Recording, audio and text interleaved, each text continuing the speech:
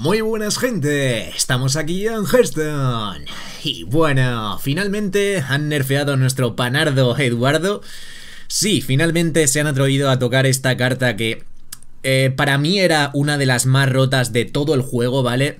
Era más bien una carta ya del formato salvaje que de estándar.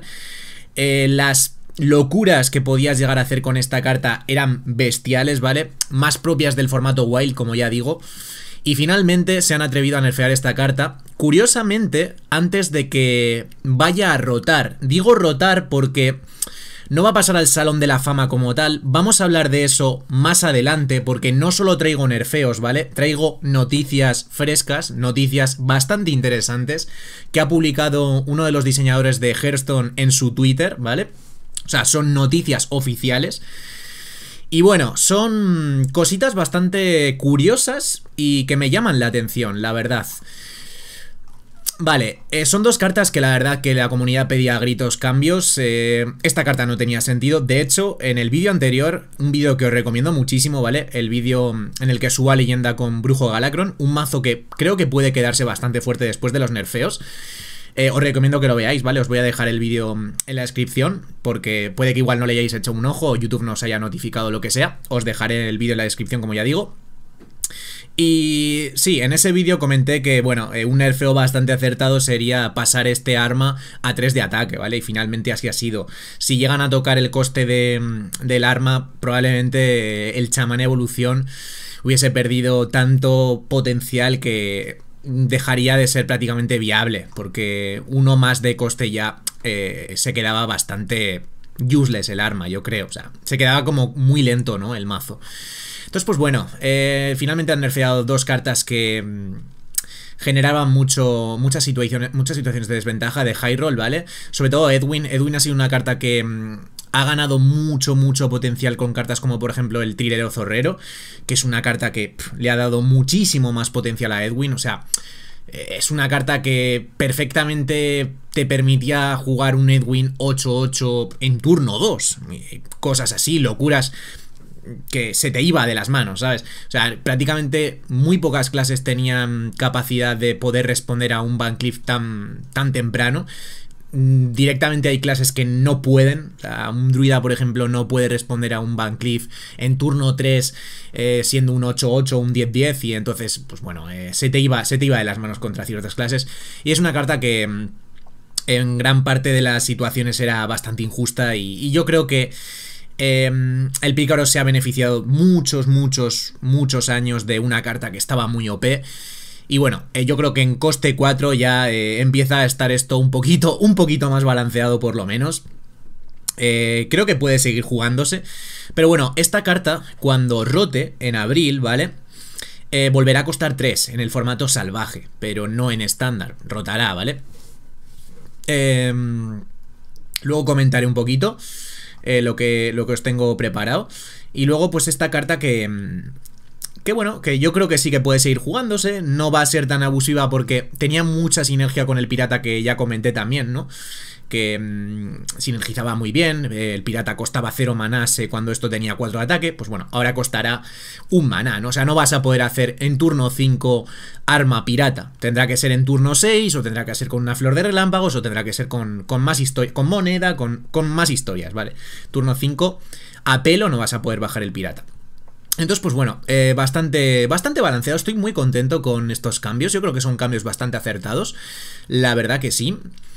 Y vamos un poco a lo, a lo salseante, ¿vale? A lo que más me ha llamado la atención. Vamos aquí y... Mm, ha dicho uno de los diseñadores del juego, como ya, como ya os he comentado al principio del vídeo, que el Salón de la Fama, tal y como lo hemos conocido hasta el día de hoy, ya no va a existir. O sea, van a cambiar el Salón de la Fama. No sé si va a dejar de existir o no sé exactamente qué van a hacer con él, pero van a haber grandes cambios. No solo con el Salón de la Fama, sino con otras muchas cosas, ¿vale? Lo ha publicado este, este, este caballero, este señor, como, como, como queráis llamar a esta persona, porque no, no le conocía. Pero lo ha publicado todo en su Twitter, ¿vale? De forma oficial. Y bueno, esto está traducido de forma un poquito, mm, pues bueno, chustera, ¿no?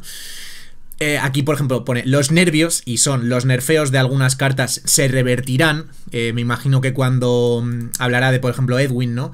Eh, cuando, cuando rote en abril, pues pasará de costar 4 a costar 3, de nuevo, ¿vale? Se producirán cambios significativos en 2021.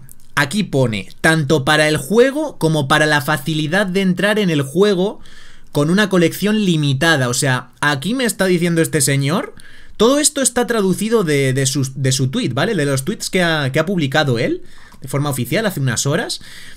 Me está diciendo que los jugadores que tengan igual dificultad para iniciarse en Hearthstone porque no tienen tampoco una colección muy grande o estén igual empezando lo que sea, se les va a proporcionar ciertas facilidades para, para que puedan entrar en el juego de una forma más sencilla. Eso es lo que me está dando a entender, ¿vale? Aquí pone, el equipo de Hearthstone eliminará a Edwin de estándar esto ya os, lo, he comentado al principio, lo eliminará de estándar, pero no lo pasa al Salón de la Fama porque, como ya os digo aquí, el Salón de la Fama, tal y como existía, deja de existir. Eh, nos van a dar más información en los próximos meses, aquí lo pone. Y aquí dice claramente, que esto lo he leído también en, en el Twitter de esta persona, no hay ningún beneficio para crear o mantener a Edwin con el nerf de hoy, ¿vale? O sea, eh, se ha especulado un poquito también con el tema del polvo arcano, si puedes obtener beneficio con Edwin Van Cleef y demás, porque claro, si Edwin Van Cleef al principio se, decía como que podía pasar al Salón de la Fama, tal, claro, tú desencantas Van Cleef ahora, te están dando los 1600 de Edwin Van Cleef en caso de que la tengas normal, por ejemplo, como es mi caso, ¿no? Yo lo tengo normal, lo han nerfeado, lo desencanto, obtengo 1600 de polvo arcano, me lo creo en dorado y cuando... Eh, en abril pase al Salón de la Fama, que hipotéticamente al principio iba a pasar al Salón de la Fama, me van a dar los... Em, creo que son... Bueno, el coste de polvo arcano íntegro de los... De la, de la legendaria dorada, no sé si son 3600, no sé exactamente de memoria, pero bueno, el coste íntegro de la legendaria dorada y aparte conservas la carta, de tal forma que puedes tú aparte desencantar esa dorada. Pero lo que está diciendo este señor es que... Eh, no vas a obtener ningún beneficio eh, creando Edwin a día de hoy. Con, e, o sea, no vas a poder especular con Edwin eh, con el Salón de la Fama. Básicamente porque aquí nos están diciendo que el Salón de la Fama, tal y como existía a día de hoy, ya no va a existir. O sea, van a hacer algún cambio con el Salón de la Fama o lo que sea, de tal forma que tú no puedas eh, obtener beneficio con esto, ¿vale? O sea, lo van a reestructurar, por así decirlo, ¿no? Lo van a cambiar. Entonces, a mí ya me parecía muy raro que te, diesen una información de que Edwin vaya a pasar al Salón de la Fama de aquí a cuatro meses y lo nerfees hoy, porque es que habría que ser bastante tonto, ¿no? O sea, toda la gente haría la de Desencanto Van Cleef, me dan los 1600, me la creo en dorado y ya está, ¿no? Y, en abril me van a dar el coste de, de la legendaria dorada íntegro y conservo la legendaria dorada. Si quiero me la quedo de recuerdo o si quiero la desencanto, ¿no?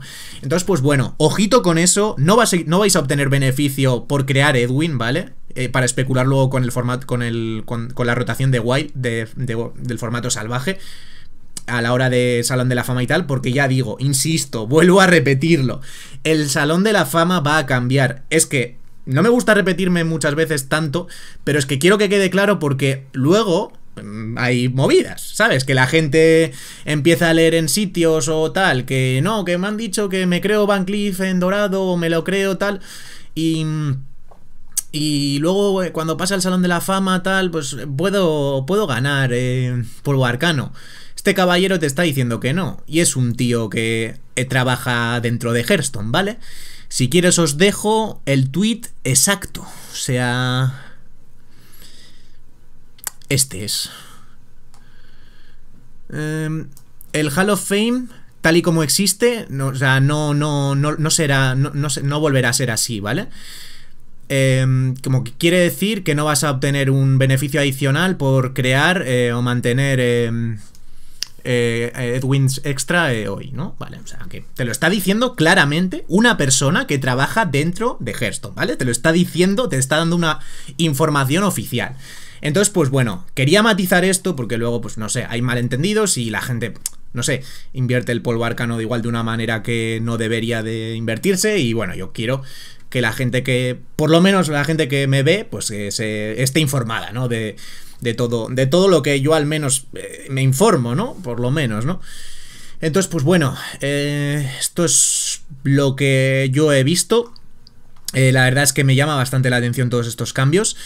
No, me, no me sorprende, no me sorprende porque estoy viendo estoy viendo una compañía que, bueno, por lo menos está espabilando bastante en tema de cambios, ¿vale?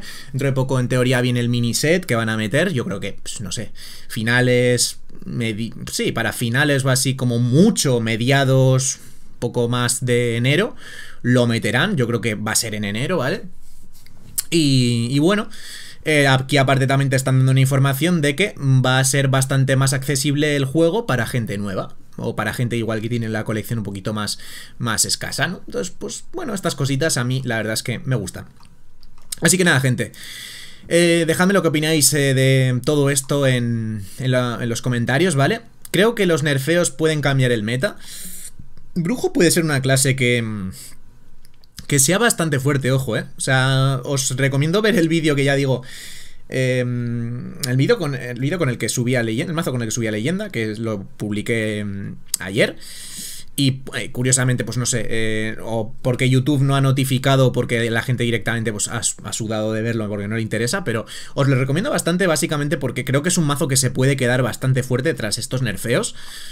Y... Mm, y puede ser un mazo bastante... A mí ya me parecía un mazo sólido, ¿vale? Antes de los nerfeos. Estaba bastante techeado contra, contra chamán. Pero bueno, ahora que igual ya no hay tanto chamán, esas techs las puedes quitar por, por otras cartas eh, para dar un poco más de consistencia eh, contra otro tipo de emparejamientos igual más... que se vean más, ¿no? En, en ladder. Pero bueno, ya digo, Brujo puede quedarse como una clase bastante, bastante interesante, tal vez Priest, bueno, eh, no sé. Warrior está por ahí, ¿no? En definitiva, pues lo que más se va a resentir van a ser Pícaro y Chamán, ¿no? Que son las clases más afectadas porque son nerfeos directos a la clase, ¿no? Así que nada, gente, voy a dejar el vídeo por aquí. Espero que os haya molado. Dejadme lo que opinéis en los comentarios, ¿vale? Me, alegra, pues, que haya ese feedback, ¿no? De qué opináis acerca de todo esto. Eh, si os parecen acertados estos nerfeos. A mí la verdad es que me parece que son más que acertados, ¿vale? Esta carta yo creo que la deberían de haber tocado hace muchísimo tiempo. No sé cómo ha esquivado tantos nerfs, tantos... Eh, salones de la fama, rotaciones y demás. La verdad es que ha sido de locos porque sí que hubo cartas en su día que estuvieron en boca de todos, subastador de Gadgetsan, pero por ejemplo el subastador ha perdido bastante popularidad. Ya es una carta que le hablas a alguien y directamente igual ni se acuerda de ella, ¿no? Y en su día era una carta que estaba rotísima con el Pígaro Miracle y demás. Pero esta carta es como que siempre ha estado OP, ¿no? Siempre ha estado súper, súper fuerte, excepto igual en metas en los que el Pícaro estuviese súper, súper en la mierda, que no ha habido, no recuerdo tampoco muchos. Pero en metas en los que el pícaro estaba ahí, es una carta que siempre, siempre brillaba y siempre mm, eh, tenía un win rate, un win súper devastador, ¿no? Cuando, cuando lo jugabas. Entonces, pues bueno, gente. Eh, lo dicho, mm, voy a dejar el vídeo por aquí. Espero que os haya molado. Y nada, nos vemos en los siguientes. Adiós.